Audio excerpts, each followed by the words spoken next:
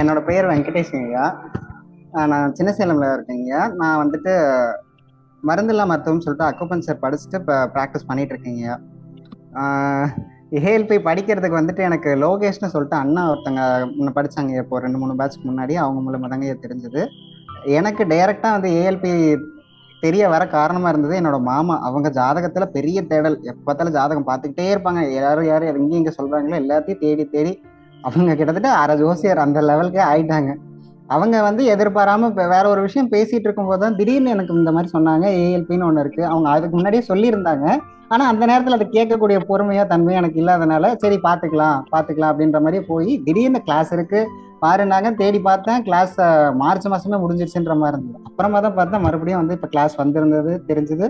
உடனே மறுபடியும் அப்ளையும் பண்ணேன். உடனே சாந்தி தேவி மேம் மூலமா கிளாஸ் ஜாயின் பண்ணி சாந்தி தேவி மேம்க்கும் ரொம்ப நான் நன்றி சொல்றேங்கய்யா உங்களுக்கும் ரொம்ப நன்றி சொல்றேங்கய்யா கிளாஸ் ஜாயின் பண்ணி ஒரு வழியா ப படிச்சுட்டு இருக்கேங்கய்யா ஆனா இந்த மாதிரி ஜாதகம் படிக்க போறேன்னு வீட்டுல சொன்னப்போ பொதுவாகவே நம்ம கிளாஸ்ல நம்ம ஒரு ஒருத்தருக்குரிய தன்மைகளை என்னென்ன சொல்றோமோ இயல்பாவே அது என்கிட்ட இருக்கிறதா நான் உணர்றேங்கய்யா நம்மள மாதிரியே சொல்றாங்களே நமக்கு பிடிச்ச மாதிரியே சொல்றாங்களே ஒருத்தர்கிட்ட மன்னிப்பு கேட்கறது ஒருத்தர்கிட்ட வந்துட்டு ஒருத்தர் புரிஞ்சுக்க முயற்சி பண்றது அவங்க ஏதோ ஒரு விஷயம் நமக்கு திட்டாங்களே நமக்கு தப்பே பண்ணிட்டாங்க அப்படின்னாலும் அதை நம்ம ஏத்துக்கணுன்ற தன்மை எனக்கு அது என்னோட தாய் தந்தை என்னோட முன்னோர்கள் என்னோட குருமார்களோட ஆசைனால அது எனக்கு ஓரளவுக்கு முடிஞ்ச ஒரு ஒரு நூத்துக்கு நூறா இல்லை அப்படின்னாலும் ஒரு எழுபத்தஞ்சு சதவீதம் அப்படின்றது எனக்கு இயல்பாவே இருக்கிறதா நான் உணர்றேங்க அதே மாதிரியே சொல்றாங்களே அப்படிங்கிறப்ப இது நமக்கு இருந்தாலும் நம்ம அடுத்த கட்டம் நம்ம வாழ்க்கையில இன்னும் மென்மேலும் உயர்ந்து போறது இதுக்கு நமக்கு ரொம்ப உதவியா இருக்கும்.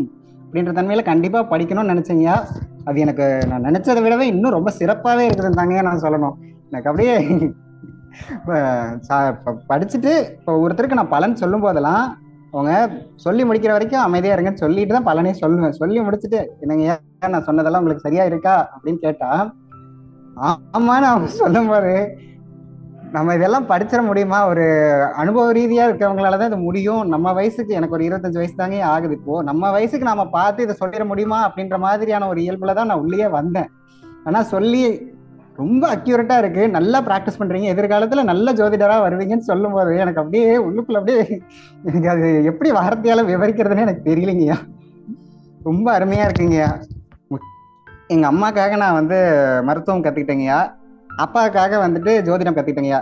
எனக்கு அதுவும் இல்லாம என்னோட இயல்பான தேடலாவே இது ரெண்டுமா தான் இருந்தது. எனக்கு அது ரெண்டும் இயல்பா கிடைச்சது. குருமார்களாக உங்கள் முன்னோர்கள் பிரபஞ்சம் எல்லாத்துக்கும் நான் ரொம்ப நன்றி சொல்லிக்கணும்னு விருப்பறேங்கய்யா உங்களை பத்தி நான் குறிப்பா சொல்லியே ஆகணுங்கய்யா. ரொம்ப பொறுமையா ரொம்ப நிதானமா எல்லார்த்தையும் எல்லாருக்கும் ரொம்ப ஒரு சின்ன விஷயம் ஒரு சின்ன எக்ஸாம்பிள் ரொம்ப மைன்யூட்டான ஒரு எக்ஸாம்பிளை வச்சு ரொம்ப இயல்பா எல்லாத்துக்கும் புரிய வச்சிடுறீங்க. எனக்கு எனக்கெல்லாம் பொதுவாக ஒரு விஷயத்த தியரட்டிக்கலாக சொன்னா சுத்தமா புரியவே புரியாதுங்க நீங்க அந்த சின்ன சின்ன விளக்கங்கள் கொடுப்பீங்க பாத்தீங்களா? அந்த சின்ன சின்ன விளக்கங்கள் எனக்கு ரொம்ப ரொம்ப பிடிக்குங்க ஏன்னா அந்த விஷயம் எல்லாரும் சொல்றவங்க எல்லாரும் சொல்லுவாங்க ஆனா அதை புரியற மாதிரி சொல்லணும் அப்படிங்கிறதுக்கு அந்த எக்ஸாம்பிள் அது ரொம்ப சூப்பரா இருக்குங்க அதுக்கு மேலே ஏஎல்பி அதை எனக்கு எனக்கு சொல்றதுக்கு வார்த்தையே இல்லைங்கய்யா.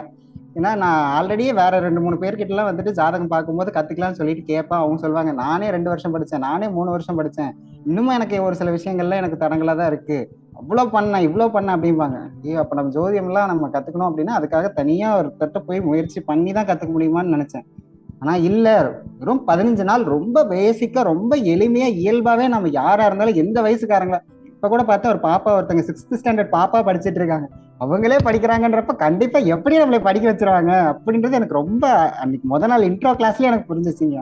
அதே மாதிரியே ரொம்ப அருமையா சிறப்பா இருந்ததுங்கய்யா உங்களோட ஆசை கண்டிப்பா வேணுங்கய்யா